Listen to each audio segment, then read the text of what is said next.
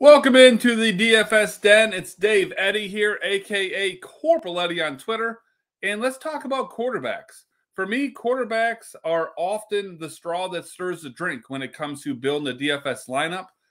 I play almost everything fully correlated with game stacks. So, quarterback is a huge part of that.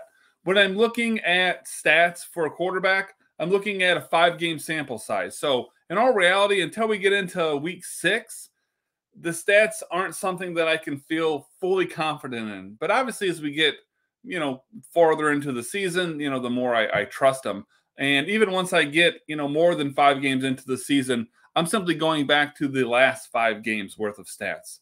Now, as far as um, you know what I'm looking at for a quarterback specifically, I think that their points are most predictive by their implied team totals. And that really is quite simple. It's just the more points that that team is expected to score, the more points that we can expect their quarterback to score. Now, that seems kind of self explanatory, but if it's not something that you're taking into consideration, you definitely should. Now, when I'm looking at just, you know, the individual quarterback himself, I am looking at metrics over volume. There are some um, positions, running back specifically, where volume over matchup is what I'll tell you. For quarterbacks, it's metrics over volume. And the two main ones that I'm looking at are TD rate and yards per attempt. To me, those are the two best predictors of you know how a quarterback is is doing or, or what I can expect from a quarterback.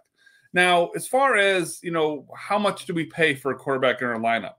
That really can vary. Um, you know, I, I don't think people oftentimes are comfortable punting at quarterback, but there's absolutely nothing wrong with that so long as you've got you know a game stack built around them. I've won plenty of money, um, you know, quote unquote punting quarterback and when I say punt quarterback, I'm not meaning, you know, playing just absolute trash, but I mean, I'm paying down, you know, near the bottom of the viable quarterbacks for the week.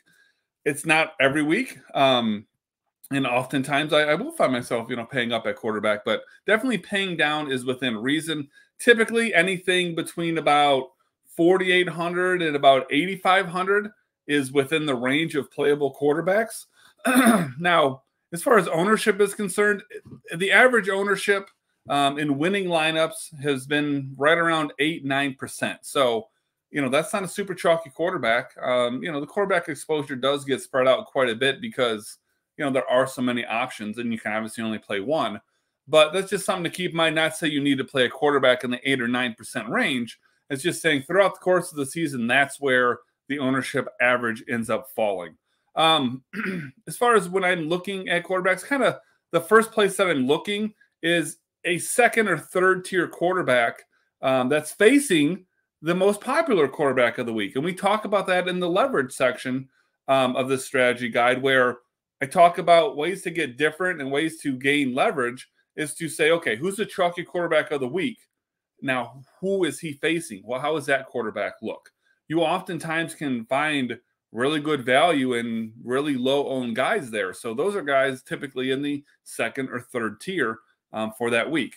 And again, I probably goes without saying for the most part, but you should be stacking your quarterbacks in MME and cash. Play the best plays. Do whatever you want to. If stacking and correlation makes sense, that's part of your player pool. Awesome. If not, no big deal. In MME, you almost always need to be at least you know team stacking with a pass catcher but you should be game stacking with an opposing pass catcher as well. Now, you obviously can play your quarterback naked, which just simply means that there is no, you know, pass catcher. There is no no correlation from the same team, but those are, you know, almost well, not almost, those are exclusively to running quarterbacks. And even then, I would say if you're not going to stack your quarterback or he doesn't have good stacking options for that week, then you probably just look elsewhere. But quarterback position is one where we spend quite a bit of money.